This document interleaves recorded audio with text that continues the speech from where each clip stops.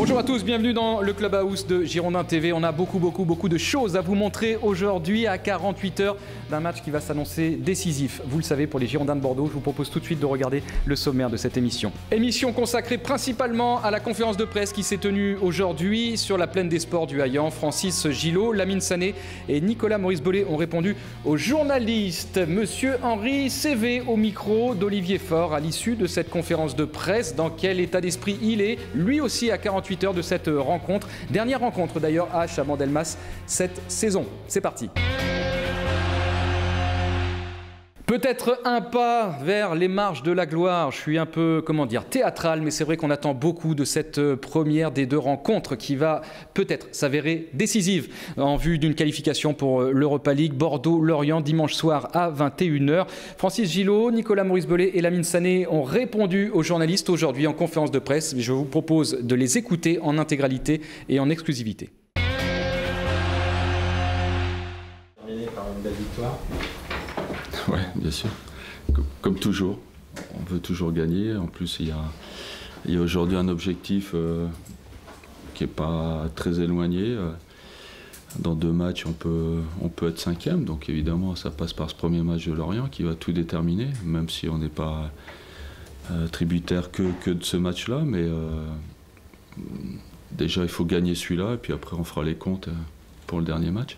Mais c'est important. L'erreur, ça fait penser dès aujourd'hui à Saint-Etienne Ah, évidemment, aujourd'hui, il faut, faut penser qu'à Lorient, euh, ce sera pas un match euh, très facile puisqu'il leur faut encore au moins un point. Donc, euh, à domicile, c'est toujours compliqué de jouer des équipes comme ça. Et en plus, j'ai vu le dernier match, enfin, il y a trois matchs à Lyon où ils menaient 2-0, ils se sont fait remonter 3-2, mais ils ont montré beaucoup de qualité. Donc, c'est une équipe, il va falloir beaucoup de fraîcheur parce que c'est une équipe euh, où il faut faire du pressing. Et en fin de saison, c'est pas évident. C'est pour ça que depuis deux jours, on coupe. On a coupé au niveau physique pour vraiment avoir de la fraîcheur pour, euh, pour affronter euh, Lorient. C'est un match très ouvert, Le- Lorient se réjouit de jouer une équipe qui joue bien au football. Ouais, de toute façon, il joue- bon, Christian Gourcuff joue toujours de la même façon avec deux attaquants d'axe, deux excentrés qui sont plutôt offensifs. Après, évidemment, euh, il va falloir se méfier des contres. Je pense qu'on aura quand même euh, la possession du ballon, mais ils sont très, très dangereux en contre. Donc, euh, ouais, ça sera ouvert. Ça sera ouvert. Ça l'a été à Lyon pour Lorient. Euh, bon, après, ils ont fait une deuxième mi-temps moins bonne. Ils se sont fait rejoindre, mais ça peut être le même scénario. Juste après Marseille, Francis, vous nous avez dit on a les moyens finalement de tout gagner.